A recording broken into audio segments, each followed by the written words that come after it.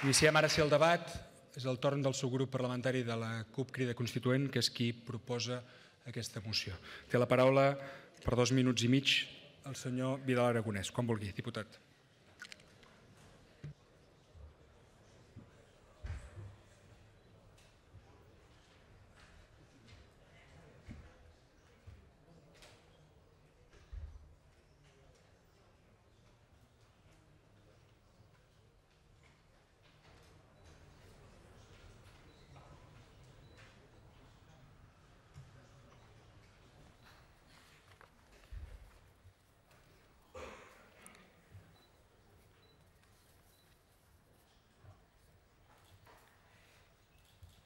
Bona tarda, treballadores del Parlament i treballadores del Parlament i diputades.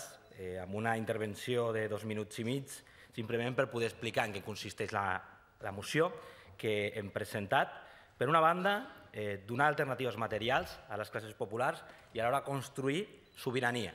I per una altra banda, o vist des d'un altre punt de vista, millorar les condicions de vida de les persones i fer efectiva la sobirania del Parlament.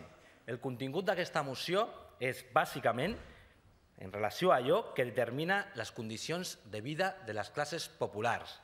Segon dels acords, o acord segon, millor dit, de la moció, fer efectius els continguts dels articles suspesos per part del Tribunal Constitucional de normativa catalana. No podrem referir-nos al total de 14 normatives suspeses, però sí perquè tinguem com a mínim una aproximació del que estem parlant. Estem parlant de com afrontar l'emergència energètica, estem parlant de llei de canvi climàtic, estem parlant d'universalització de l'assistència sanitària. És d'això del que estem parlant quan fem referència a lleis suspeses. Tercer acord, que el govern elabori i presenti en el termini, en el termini de 90 dies un pla d'execució sobre com s'han recuperat aquests articles suspesos.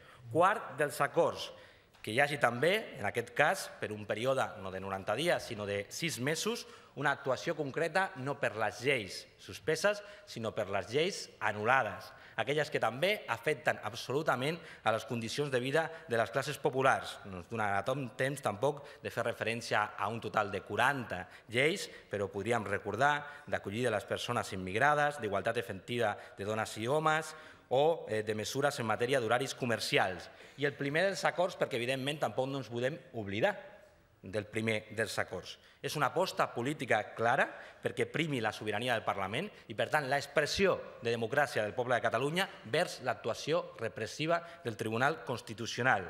I la significació global que, que expressa aquesta moció.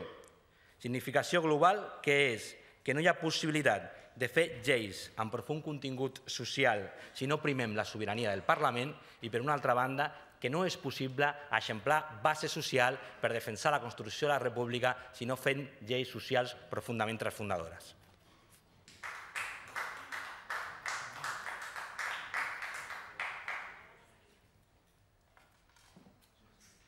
Molt bé, és el